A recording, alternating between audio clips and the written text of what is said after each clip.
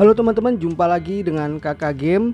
Sesuai dengan request teman-teman Kali ini kita akan bahas cara flipping Ngumpulin koin di FIFA Mobile 22 Oke teman-teman, masih sama seperti video sebelumnya ya.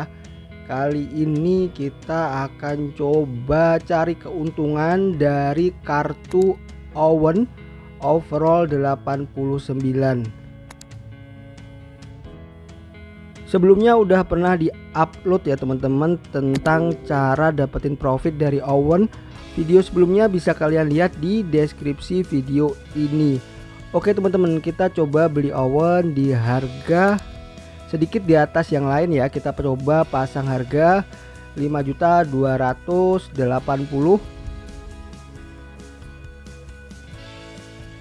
Oke, kita coba langsung beli tiga ya teman-teman. Oke, kita purchase.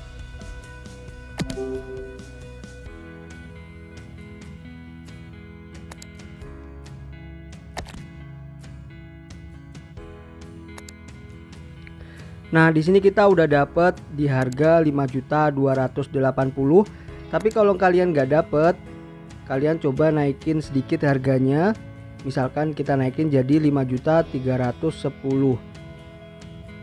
Oke teman-teman, sekarang kita akan coba jual oven ya. Kebetulan kita udah dapat dua. Kita langsung aja jual. Kita jual di harga sedikit di bawah harga yang lain ya.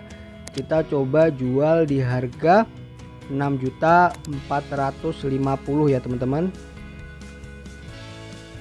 Oke jadi kita dapat keuntungan sejuta lebih ya. Belum termasuk pajak Oke sekarang kita coba cek ya teman-teman hasil penjualannya apakah sudah laku. Kita masuk ke my order dan ini dia teman-teman ternyata udah laku. Dua oven di harga 6.450.000 Oke langsung aja kita ambil. Nah ini dia.